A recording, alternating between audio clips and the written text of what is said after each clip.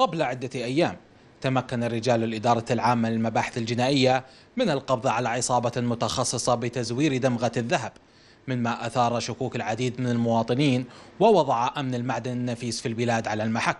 ما في تزوير ذهب. الذهب هو مثل ما هو ما دام عندنا وزارة التجارة هني يعني أنا من 85 اللي أنا دخلت الذهب للحين وزارة التجارة لها رقابة جدا قوية ولها الشكر. الجزيل على أنه عطت اسم خاص حق الكويت أنه أحلى ذهب في العالم ذهب الكويت. هذا تزوير دمغة هذا إنسان للأسف يعني أنا ودي يأخذون فيه أشد العقوبة لأن هذا زور ختم دولة زور الختم علشان مصلحته هو علشان يقدر يوصل من السلم الأول للسلم العاشر. ما يبي يمشي حتى تحت مظلة وزارة التجارة ما يبي يمشي على قانون وزارة التجارة. هذا ضعيف النفس للأسف يا سوى. ختم مزور قام هو الشغل اللي هو اللي يشتغله أو يبوا له شغل بعض الورش ويختمهم ختم تزوير عنده في المحل ولكن كذهب ذهب عياره 21 لأن عليه ختم الورشة. يبي يختصر وقت إنه بدل لا أدخله حق الوزارة وأعطي رسوم رسوم شيء بسيط جدا ولا شيء. زين وأنطر أنطر مثلا 10 أيام ولا شهر على ما يعطوني الطرد مالي. ليش أسوي؟ يوم واحد أنا أختم وأبيع أسوي مرة ثانية أبيع أنا هني أستفيد أكثر. ولكن كوزارة التجارة لها الشكر الجزيل على وقوفها على التفتيش اللي قاعد يسوونه على كل شيء. إحنا بنفسنا أصحاب محلات ارتحنا وايد أحسن من أول.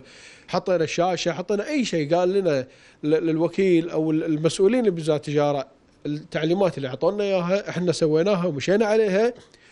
إحنا نجحنا والزبون استانس على الشيء هذا لما يشوف كل شيء واضح.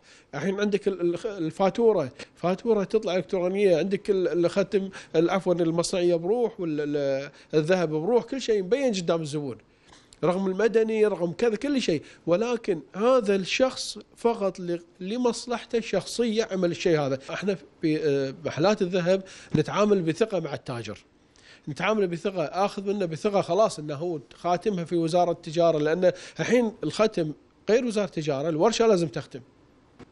زين؟ فخلاص أنا عندي ثقة إنه هو خاتمه بورشته المسؤوليه عليه فأنا ما يصير عليه مسؤولية.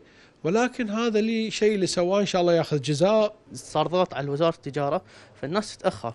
فهو يقول أنا يأخذ الذهب من صاحب المحلات فأنه يقول أنا عندي وصل الوزارة أخلص لك إياه. عندي أعطي فاتورة للزبون بكل شيء وأسجل له كل شيء مضبوط ويقدر هو يروح وزارة التجارة يفحص عشان يرتاح.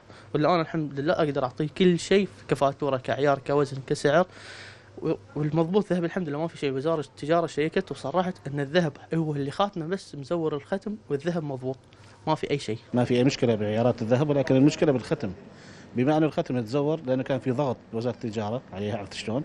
فكان يتم الختم عند الشخص اللي زور الختم بحيث إنه يتعامل مع أصحاب المحلات إنه الختم مزور، الشخص اللي أتى بالجهاز الليزر وزور الذهب هو هذا اللي لازم يتحاكم لأن تدري إن أصحاب المحلات يسلمون الذهب وما يعرفون وين ياخذ الذهب على أساس الذهب يروح التجارة وما كان يروح التجارة كان يروح من عنده. لما يجي الذهب الناس ما تعرف إنه هذا مزور بالبيت عرفت شلون؟ ولكن هو كان يتزور عنده بالبيت.